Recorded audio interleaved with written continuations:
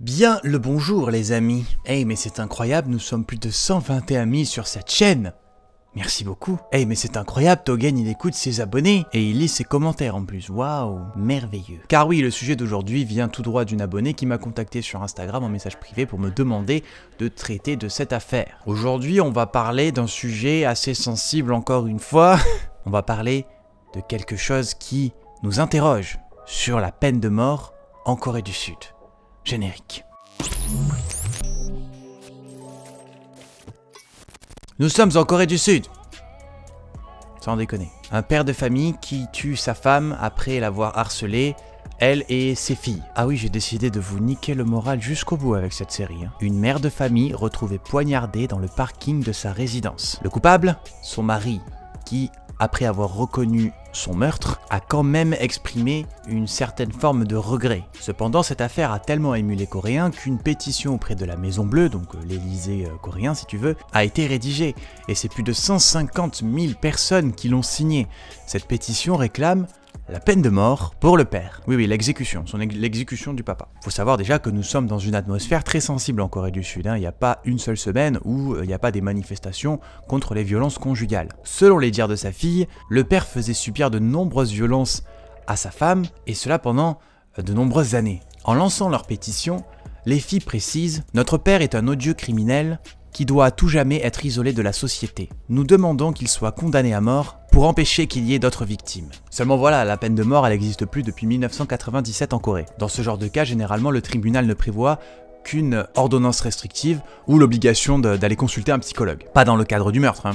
dans le cadre où euh, quelqu'un harcèle quelqu'un. D'ailleurs, à cause de ça, la justice coréenne est très critiquée car elle préfère privilégier en fait le- la famille, la construction familiale, l'image de la famille, plutôt que les individus. C'est pourquoi elle s'emploie vraiment à protéger la structure familiale plutôt que de punir les personnes euh, pour leurs actes, essentiellement des auteurs de violences. Que ça soit homme ou femme d'ailleurs. hein. Dans ce cas présent, c'est un homme qui battait et qui a tué sa femme. Mais il existe l'inverse aussi. hein. Vous, avez, des cas où euh, c'est l'inverse, où c'est euh, l'homme qui se fait battre par sa femme éga- également. Donc s'il vous plaît, pas de débat dans les commentaires. hein.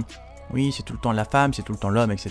Là, on ne cible pas euh, le sexe, s'il vous plaît. Simplement le fait que quelqu'un, un être humain, a tué un autre être humain. D'accord? D'ailleurs, durant ces manifestations contre les violences conjugales, on pouvait entendre des phrases du genre Les auteurs doivent être punis et non conseillés. L'obligation de consulter un psy ne peut être la punition. En plus, ces filles pensent qu'il n'y a aucune forme de regret de la part du père parce que ça va faire plus de 20 ans que le père harcelait la mère. Du harcèlement au niveau, parce qu'il y a eu aussi euh, des menaces de mort. D'ailleurs, une des filles déclare, même après leur divorce, notre père venait à la maison avec un couteau. À chaque fois que cela se produisait, nous devions partir. Notre mère a vécu traquée, se cachant dans des foyers pour femmes ou à la campagne pendant des mois. Mais, chaque fois, notre père parvenait à la retrouver et la battait. Un jour, mon père a suivi ma sœur et pu découvrir où nous vivions. Il avait un couteau, du scotch et des cordes et a menacé de nous tuer. Nous avons toujours vécu dans la peur. Nous avons déménagé six fois en quatre ans. Que pensez-vous de cette histoire?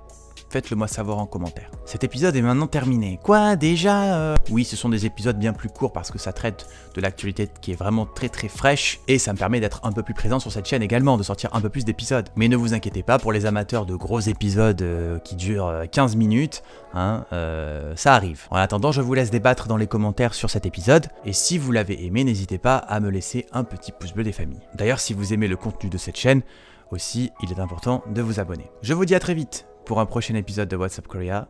C'était Token.